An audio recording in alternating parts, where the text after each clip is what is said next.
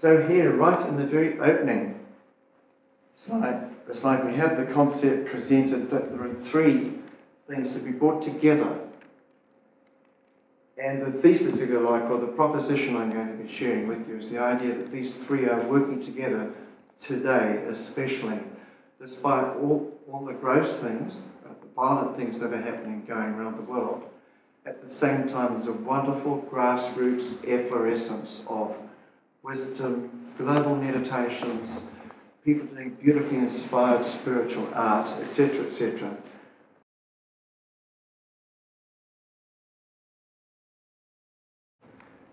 So I thought that out of those three things that we begin perhaps with science itself. And here's a little graphic which indicates how these three main regions actually have a place where they overlap. And that's the one in the middle to do with mind, brain, and consciousness. So here in the top circle we have religion and spirituality, philosophy and science. And where else have we had those three things put together but in the second object of the Theosophical Society to encourage the study of comparative religion, philosophy, and science. So, nearly 150 years ago, this vision was burning strong and bright at the origins of the Theosophical Society. And so, our themes are going to be where these three specifically overlap in explorations of the mind, brain, and consciousness, which, of course, is, is carrying out the third object, is it not? to investigate unexplained laws of nature and the powers latent in the human being. Now, I'd like to share with you that I do have a master's degree in science and physics, um, and, and, it allows me to have a particular perspective when uh, talking about these things. Perhaps the most obvious one of those perspectives is that I don't have any trouble talking about and integrating spirituality into an understanding and a practice of science. I have no trouble at all. It is just in the way you hold those ideas, and indeed, where there is a conflict, it's usually because one side or the other is being rigid or, or dogmatic about something. On the side of science, it is where people decide to hold a materialistic, reductionist worldview, which holds that everything can be explained in terms of the laws of the laws of matter, and that consciousness is a byproduct of the biochemistry and the, and the electrical phenomena of the brain. On the religious side of things, the rigidity might be around insisting that one has to read particular scriptural books in a rigidly um, kind of historical way, believing that the world was created only about 6,000 years ago, etc., etc. Frankly, I do not think that the ancient scriptures were meant to be read literally in that way. So the breadcrumbs of, of the symbolism of ancient scripture, I believe, are there to awaken our consciousness to deeper spiritual truths. And that is very much the heart and the essence of Gnosis, which itself runs strongly through the Theosophical Society in different ways, where Gnosis is understood as not only intellectual knowledge, but it's also the experiential spiritual knowledge, which has come to people down through the ages. It is, I believe, the actual origin of the ancient wisdom. And indeed, we've had many, many mystics of different kinds down through history who've had the divine expansion of consciousness where they have felt themselves to be one with all life, light, and consciousness and the divine. And today we have many, many hundreds, if not thousands, of near death experiences where people are spontaneously having experiences like that as well. So this is the new gnosis. People who are maybe meditating or lucky enough to have a near-death experience and survived it, often it changes their lives because they've touched the core of their being. So science, what's the scientific method? So as you can tell here, it begins with perhaps an observation. So some astronomers maybe 80 to 100 years ago realized that Mercury had a bit of a weird orbit. It didn't exactly obey all the, all the equations which they knew about. And that remained as an anomaly. Nobody knew why that was so. But it turned out that a man called Einstein had an hypothesis. he formed, he formed the theories of relativity and other, other developments of that. And it had the mathematics, which when they applied it to the orbit of Mercury, completely explained the anomaly. So what did we have? We had observations. Nobody knew why. Somebody came up with a hypothesis. Then they did the tests where they compared the observed positions of Mercury in the sky with the new mathematics that Einstein had come up with. And lo and behold, that was the test of that prediction and it came out shining. That's the cycle. It may begin with a hypothesis, as Einstein did, or it may, on the other hand, begin with the observations. Biology, for example, is a good uh, case of where people working in biology, like Charles Darwin, gathered huge amounts of information about the birds and uh, different creatures and genetics. Eventually was an idea that arose out of that. But they didn't really have a way of making it join together. But science in more recent times has, has provided a good deal of those links in terms of the genetics and all the biology and quantum physics way down at the molecular biological level. And so we go round and round and round. It's okay to come up with a theory that doesn't work. It just means, okay, back to the drawing board, let's devise a better one. You're building intellectual models of how nature works. And you might think, well, this model is well and truly verified, like Newton's laws of motion have, have proved to be very, very good at predicting what cars do on the road and rockets do going, going up through the atmosphere, but they have elements. There are times when classical mechanics, classical physics gets out of its depth and is not good enough. But now we have the more refined theories of, of quantum mechanics and relativity, which fit observed reality much better. But even quantum mechanics now is beginning to creak at the seams, it's beginning to strain. There are growing numbers of reasons where quantum, quantum physics is a wonderful mathematical description, but now we're realizing more and more that we don't know why it works. We don't know what's underneath. Many exciting theories. One is, is, is called process physics. And, and this man here, lives in Adelaide, has come up with a theory that integrates gravity into the uh, quantum mechanical description of the other three main forces of nature. At the moment, in mainstream science, we have gravity out there, which it's very hard to integrate with the strong nuclear force, the weak nuclear force, and the electromagnetic force. And there are dozens, if not hundreds actually, of other people doing research trying to integrate these things together into a grand unified theory of everything. And there are many other ways too. One of the others I talk about later too, uh, this chap name is Nassim Haramein, and he's operating a school of um, spirituality as as well as physics. Like it's, it's all about the integration of, of science and spirituality. He too has evolved a theory, a way of integrating those four forces observed in the physical world gravity, along with electromagnetic forces, two nuclear ones, which are the weak force and the strong nuclear force. I put this up because one of the strengths of the method of science as it's practiced today, which actually is a wonderful development, here we have a collective endeavour whereby we accept a theory more and more if two, three, four, or 50 or 100 people are able to replicate the experiment which supports it. And it's well known that the person who developed the tectonic theory of, of explaining earthquakes and, and the shapes of the continents of the earth really was hacked down in this way. But in the end, of course, as we all know, plate tectonics has now been accepted and, and it fits very well.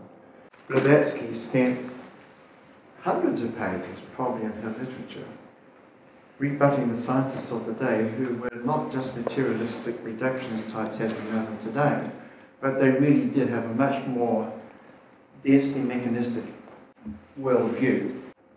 Blavatsky wrote, amidst her diatribes that within a few years the veil of materialism would be rent asunder.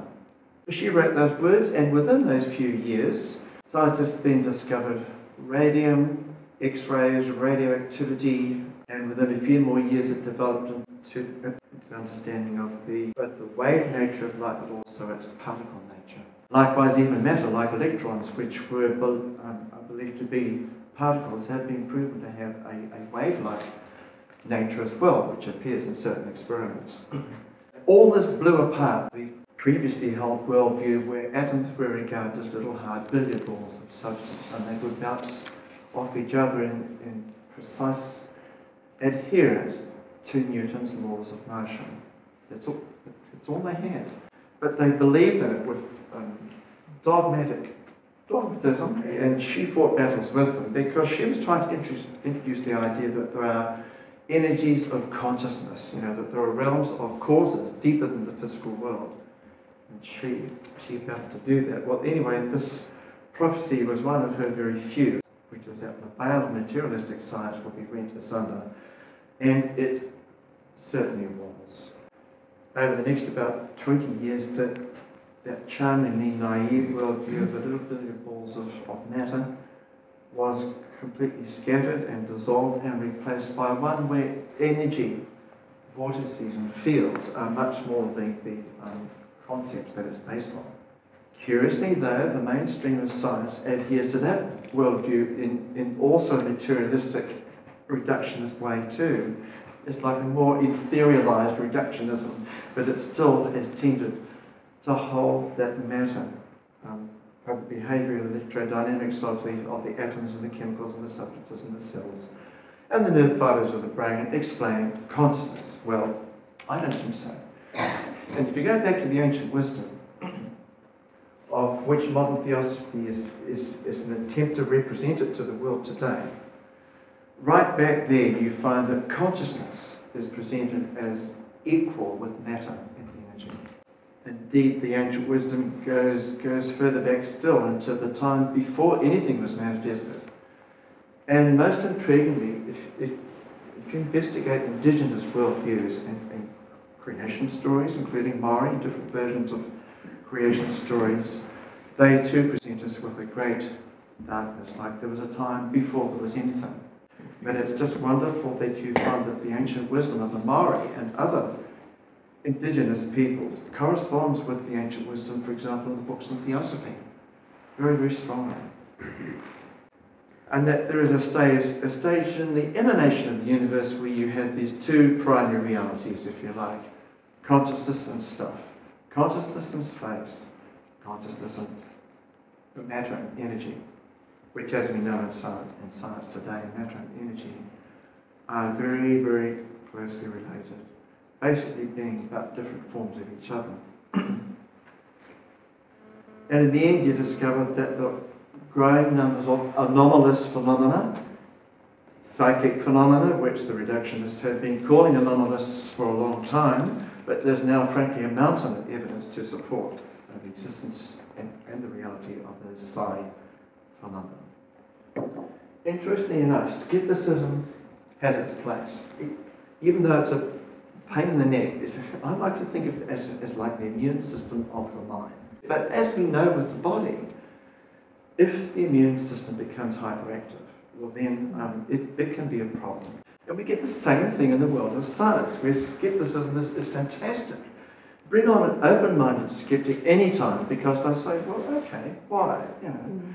But at least they have an open mind. Energy. Now, I love this picture. This is Nikola Tesla. Who's heard of Tesla in this room? Probably everybody. Just about everybody's heard of Tesla. He was quite some man. he's quite a guy. Oh, he's quite a guy to have the trust to know that he could be nonchalantly reading a book here while these sparks were flying everywhere. But he knew, of course, that it was safe to do so. It's because that was a very high voltage indeed, but it was also a very high frequency, uh, way up maybe a megahertz, or, but certainly a very high frequency the, and the result is that that high voltage is able to penetrate the insulating properties of the air without any trouble. But because of the high frequency, it was no uh, danger to him, a biological organism.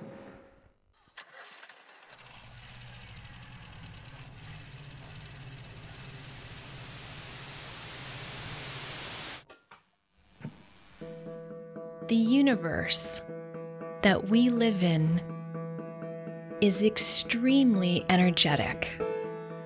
What if we could access the pure energy source of the entire universe to power our world and beyond?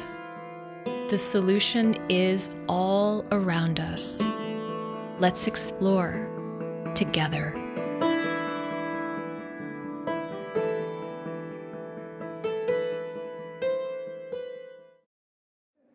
That beautiful little video is produced by the Resonance Academy, uh, one of Nassim Haramein's productions. The Academy has a number of highly developed educational programs in which they endeavour to integrate spirituality and science. Tesla remarked, by the way, if you want to find the secrets of the universe, think in terms of energy, frequency, and vibration.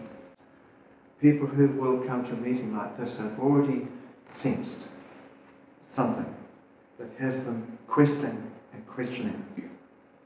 What is the deeper nature of reality? What is this universe?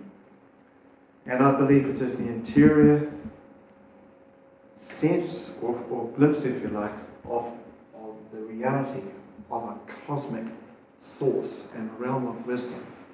Pure truth, if you like, or truth with a capital T, where it is the the oneness and, and the isness, the, the ultimate connectedness of all things to which our minds can only aspire.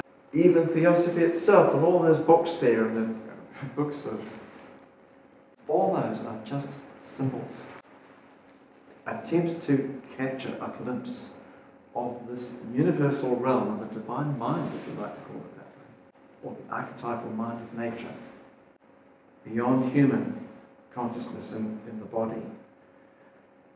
So the path of yoga then, the path of a, spiritual journey, if you like to put it that way, in the word, is the evolutionary progression and expansion of consciousness towards a permanent state of realizing, comprehending and experiencing that blazing realm of divine wisdom whilst in the body, which seems maybe impossible, but we're told that it is. We're told that the sages of the past, those who achieved and accomplished, uh, masters of the wisdom, as they're called in the Society, did actually achieve that goal of the permanent establishment of the linkage in consciousness between the brain mind awareness and the brain mind awareness of the soul and the spirit in its oneness with the universal mind.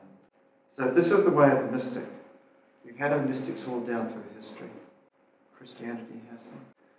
And Rumi and the Sufis and all these other wonderful experiences of the divine realm down through history and in different cultures. The point is that there's a middle way to embracing knowledge like this where we hold it lightly. I'll integrate the parts of that that I can, the ones that make sense, the ones that ring true to my intuition. This is what we want you to do in the Theosophical Society, not believe dogmatically. So the mystic's way was as the lover, lover of God, the divine, whatever. It, it is an experience. We might aspire to love God. I remember when I was 12 thinking, I could love God, but I can't, I don't know how to. to. To try and understand what is the ground of all being. What is the origin of all things?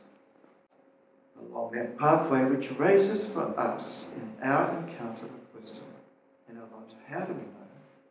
How much trust can we put in things? We had a wonderful woman here a few years ago. She used to like to talk about about degrees of knowledge. So there's hearsay, then there's I think so, maybe type of knowledge, and then, oh, that's really very likely type of knowledge, and then well substantiated, that really has stood the test of time. There's another degree as well, which is like belief. I, for example, out of all my inputs through all my life, really, really think that reincarnation is the way things are run. So these are the degrees of knowledge that we can have, which we are confronted with. If we go back to this here, like we're given this body of wisdom teaching, but we have to figure out our posture, if you like, or our relationship. And we have our conspiracy theories, and mind you, talking about conspiracy theories, most of the conspiracy theories I've encountered too are rapidly being turned into conspiracy fact. So here we have these tantalizing evidence of, of, of really high technological and consciousness capabilities. Stones carved to carved to thousands of an inch often, the way they're put together temples of, of the Incas and Egyptian. What was the technology? What was the consciousness? What were the tools? How did they do this? What was the ancient wisdom of those times? Well, great question. Not going to answer them tonight, but we will explore them a bit more in the, in the meetings after this. So that really is the close of the organised part of my presentation this evening. This alone represents the way these three things, which are easy to regard as being independent of part, are being informative synthesis. We have the scientific method where we formulate theories to test them, or we gather observation, test them in the peer review process. Why is it a bad idea to major in physics? Because you never enjoy action with again.